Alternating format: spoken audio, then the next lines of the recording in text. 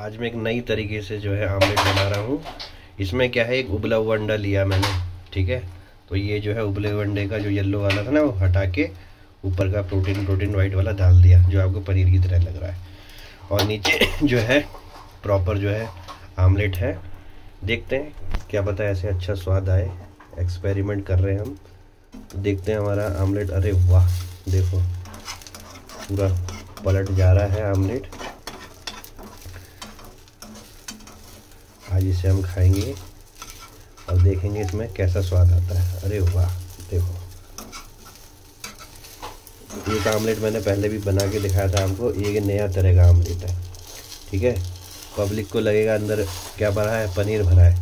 पनीर नहीं है, वो अंडा ही है। तो एक उबला अंडा और एक जो है कच्चा अंडा, दोनों का मिक्स है। खा के देखते हैं, फिर देखेंगे कैसा स्वाद आएगा। Thank you very much for watching this